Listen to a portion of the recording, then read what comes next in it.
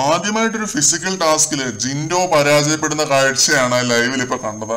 ഈ അറുപത് ദിവസത്തിൽ ഇത് ആദ്യമായിട്ടാണെന്ന് തോന്നുന്നു. ഒരു ഫിസിക്കൽ ടാസ്കിൽ പുള്ളി തോറ്റു പോകുന്നത് കാണുന്നത്. പരാജയം എന്ന് പറഞ്ഞാൽ കുറച്ച് സമയം കൂടി ബിഗ് ബോസ് കൊടുത്തിരുന്നുവെങ്കിൽ ചിലപ്പം പുള്ളി ജയിക്ക് ജയിച്ചേനെ ആ രീതിയിൽ ഒരു ഇഞ്ചോടിഞ്ച് പോരാട്ടം തന്നെയായിരുന്നു ഇത്. പെട്ടെന്ന് ബസ്സറടിച്ച പോലൊക്കെ എനിക്ക് ഫീൽ ചെയ്തു. അപ്പം ഫസ്റ്റ് ടാസ്ക് പോലെ തന്നെ ഈ ഒരു ടാസ്കിൽ രണ്ടുപേരും നല്ല കിഡിലിനായിട്ട് തന്നെ കളിച്ചു. പക്ഷേ ഈ ഒരു ടാസ്ക് കുറച്ചുകൂടെ ടഫായിരുന്നു ഫസ്റ്റ് ടാസ്കിനെക്കാട്ടിലും ചക്രവ്യൂഹം എന്നാണ് ടാസ്കിന്റെ പേര്. ബൗളിംഗ് ഒക്കെ പോലത്തെ ഒരു ആണ്. പക്ഷെ ബോളിന് വളരെ ഒരു വീലാണെന്ന് മാത്രം.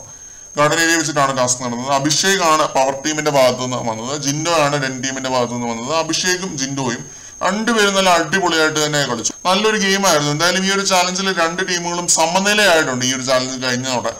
അടുത്ത ടാസ്കിൽ ജയിക്കുന്ന ടീമാണ് അടുത്ത ആഴ്ചത്തെ പവർ ടീം ഇങ്ങനെ ഒരു ടൈ സിറ്റുവേഷൻ വരുമെന്ന് തീരെ പ്രതീക്ഷിച്ചിട്ടില്ല. എന്തായാലും പവർ ടീമാണ് രണ്ടാമത്തെ ടാസ്ക് ജയിച്ചത്. അഭിഷേക് ജയിച്ചു. ഡെൻ ടീം പരാജയപ്പെട്ടു. ഇതിന്റെ തോറ്റുപോയി. കൂടുതൽ അപ്ഡേറ്റുകളുമായിട്ട് നമുക്ക് വീണ്ടും കാണാം.